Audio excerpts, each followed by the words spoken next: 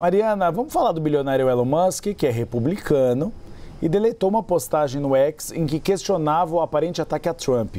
Ele dizia que ninguém está tentando matar Biden ou Kamala. Ele justificou porque apagou, simplesmente apagou e sumiu.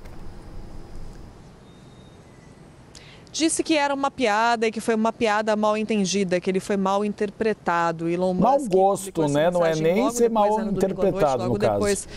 das notícias. Pois é, então, e aí ele foi muito criticado. As pessoas no X, né, no antigo Twitter, criticaram muito Elon Musk, falando o que você está querendo sugerir com isso.